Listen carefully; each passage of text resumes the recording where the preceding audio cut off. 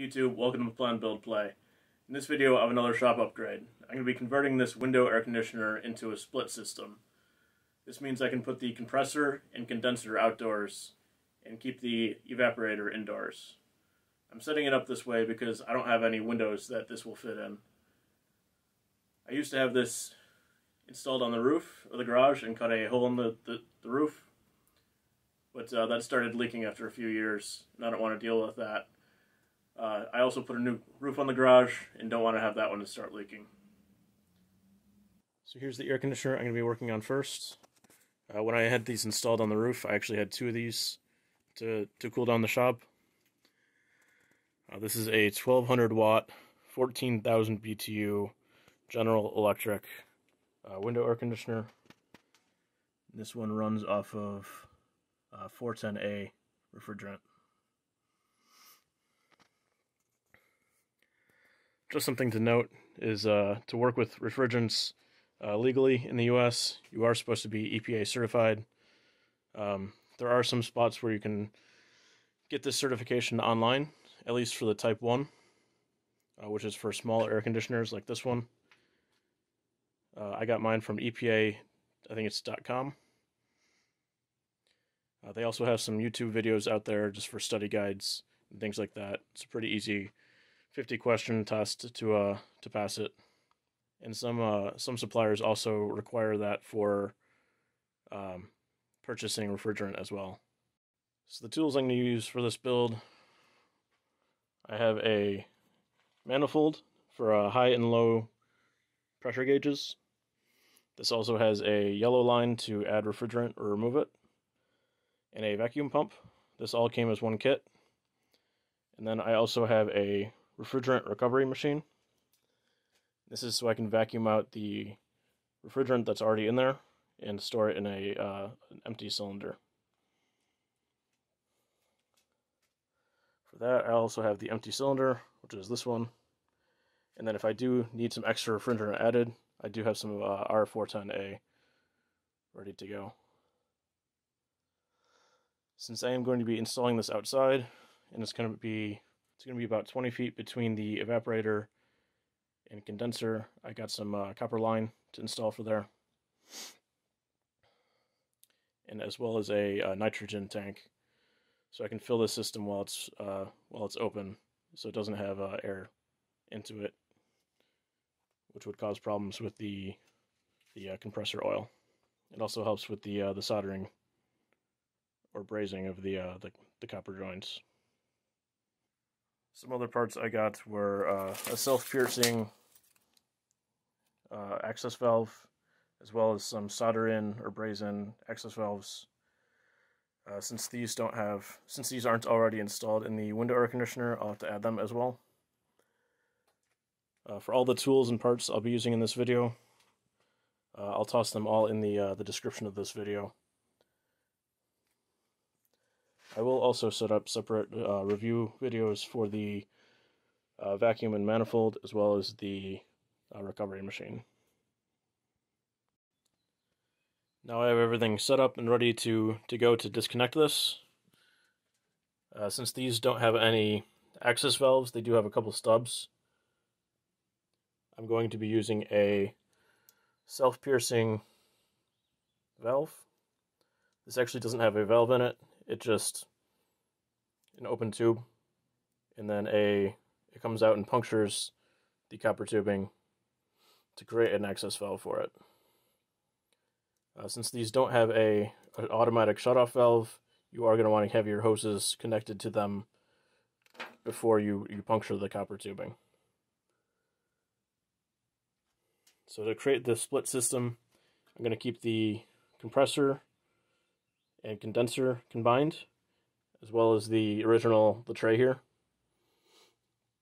Uh, this one was was actually installed on the roof, so it's a bit dirty. Needs to be cleaned out a bit.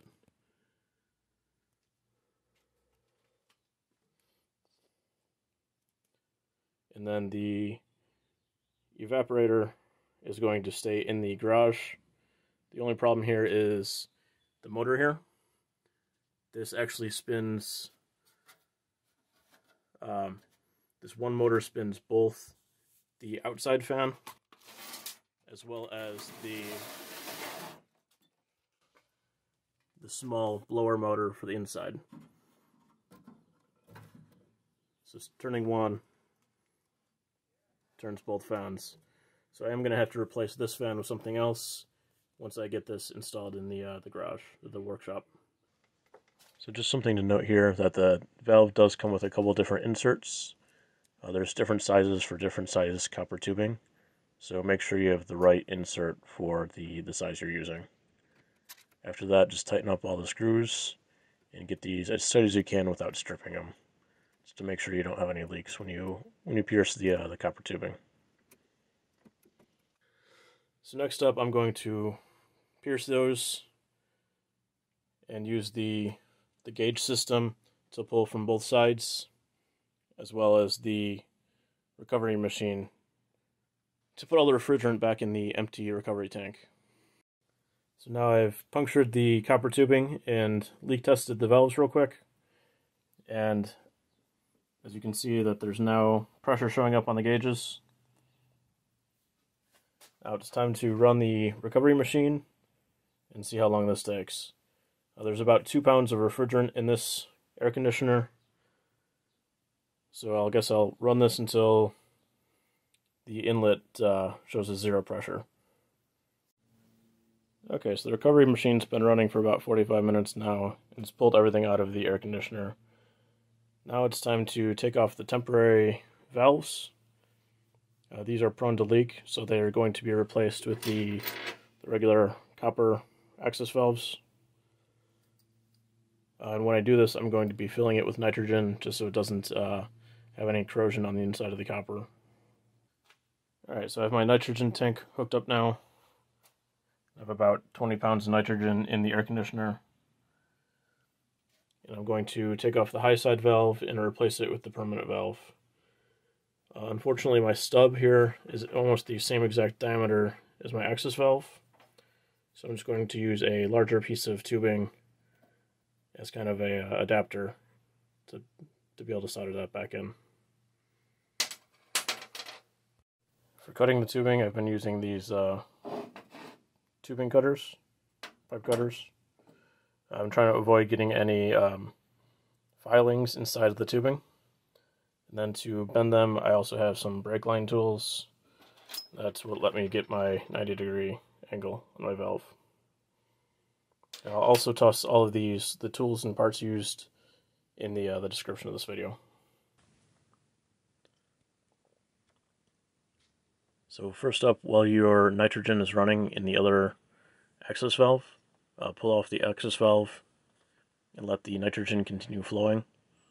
Uh, here I tried to use a, a, small tubing cutter to cut it, but it wouldn't fit with the other line in the way, so I ended up just using a hacksaw blade without the saw.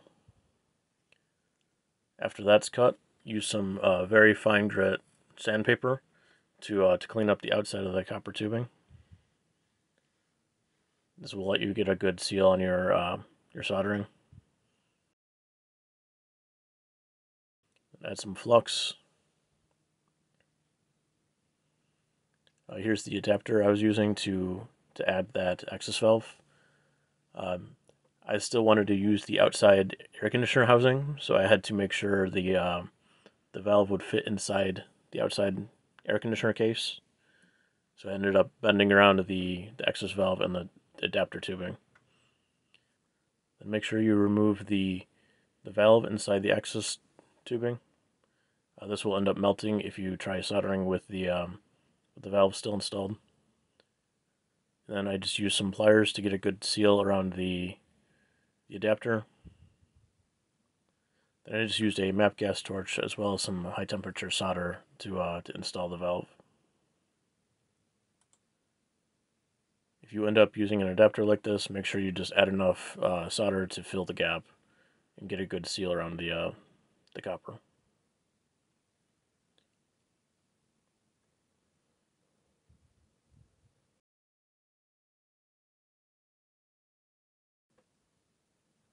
From there, I just cleaned up the fittings, added the, uh, the valve back in, and then uh, hooked up my nitrogen to this one and repeated the same process on the other access valve.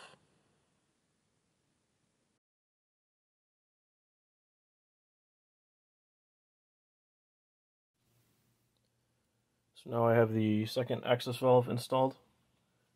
Everything is all leak proof and is filled with about 50 pounds of nitrogen just to test it. I also cut the the wiring for the compressor and the fan. And uninstalled all of the screws holding the evaporator in place. As well as the, the fan and the shroud on the back. Uh, so next up I'll be cutting this here. As well as here. And that will be able to remove the uh, evaporator and separate it from the compressor and condenser. I'm also going to tape all the lines shut and fill it with nitrogen again. The oil in the compressor will actually absorb moisture and cause problems for the compressor, so I'm trying to keep this sealed as much as I can. Now that I have everything apart, I just need to put it all back together again. So I have the evaporator cut apart from the compressor now. Uh, unfortunately, the uh, the inside fan as well as the outside fan use the same motor. So I'm going to have to disassemble this and replace the indoor one with a uh, a new blower motor. So a replacement here. Then I just need to build a new uh, replacement for the styrofoam enclosure. Solder all the lines back together, and then wire everything back up to the uh, the controller panel, and it should be good to go. So where I'm going to install this, I already have the lines run. These go through the wall, outside, and then up to the roof. So here I'm reconnecting all the lines and wires to the compressor and fan. I'm soldering all the electrical just to make sure I have a good connection to the wires and then taping them real good, to keep everything weatherproof.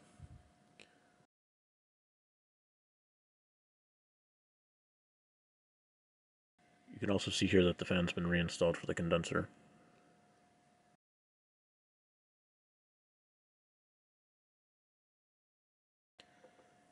So here I'm just reconnecting the copper lines for the compressor and condenser while uh, filling the system with nitrogen.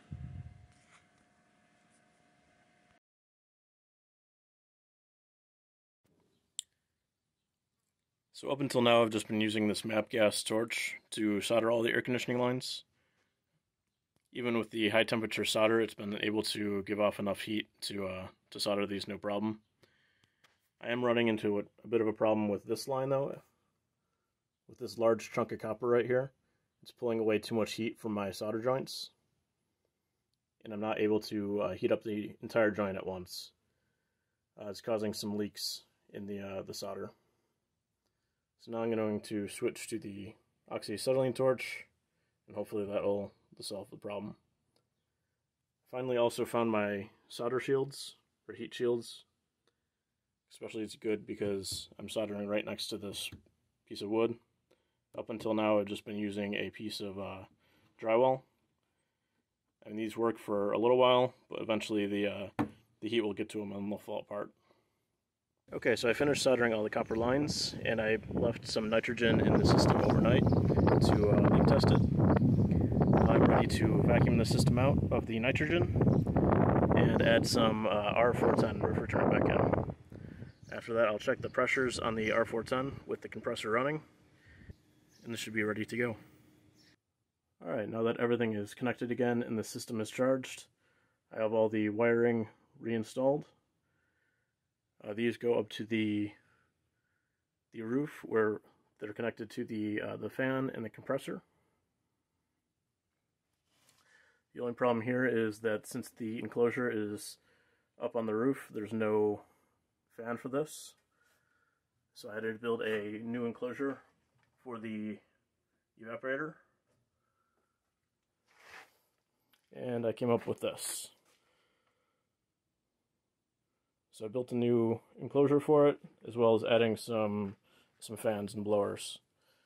Um, This uses a centrifugal fan as well as two of these server fans. I'll also toss all the links for these these parts and tools on the description of this video. So then these get installed here. And then here's the, the blower and the other fan. And then on the front of this, there's going to be a air filter. That will just keep the uh, the insides of the evaporator from getting dusty. So I'll just reinstall this and test everything out. And here's a look at the finished products. All I have to do left is uh, install the water line where I can get rid of the uh, the condensation from the evaporator, as well as um, put the display somewhere and to kind of uh, cable ma cable manage the the wires. But at least it's installed. One recommendation I would have is if you're setting one of these up, make sure you have a little bit more room to work with. Uh, mine's kind of crammed in the corner, and it's a little bit hard to move around after you have the line soldered. Now it's time just to fire this up and cool down the, the workshop. Thanks for watching and subscribe for more. If you have ideas for videos, toss them in the comments.